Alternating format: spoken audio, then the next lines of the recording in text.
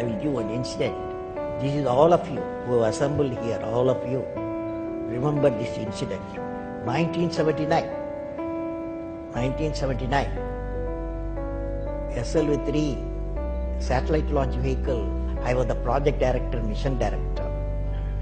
My mission is to put the satellite in the orbit. Thousands of people worked nearly 10 years. I have reached the, I reached the Sriharikota and the launch pad. Countdown was going on. T minus 4 minutes, T minus 5 minutes, T minus 1, 1 minute, T minus 40 seconds. Computer put a hold, don't launch it. Computer says don't launch it. I am the mission director, I have to take decision. Everything is on. Behind me there are six experts. They saw data computer database coming in and screen and they see the pictures in the screen, they said there's a problem. The problem is there's a leakage in the system, in the control system. But immediately calculation, no problem. We have got sufficient fuel and oxidation for control. Control system is control the rocket to the required altitude. And uh, we can go ahead. Now, of course, my expert's view, but I took a decision. Problem's mine. I, finally, I took a decision. I bypassed the computer. I launched the system. Okay, I launched the system. This fellow went. First stage worked in a four-stage rocket, and second stage got mad. It went to spin.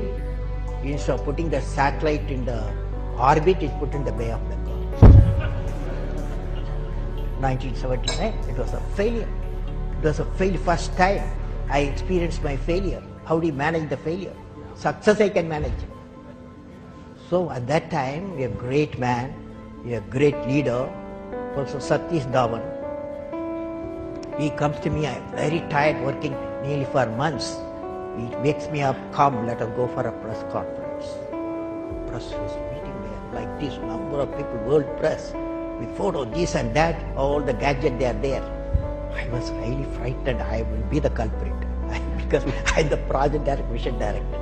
What Satish Dhawan said, chairman, Indian Space Research Organization said, Dear friends, we have failed today.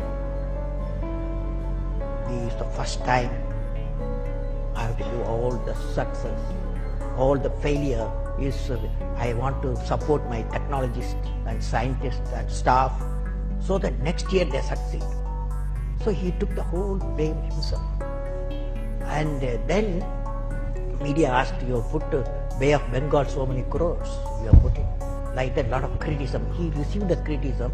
He assured them in a year we will succeed with our team. It's a very good team. Next year, here only interesting happened. Next year, July 18, 1980, when he succeeded, Professor Dhawan said, you go and conduct the press conference.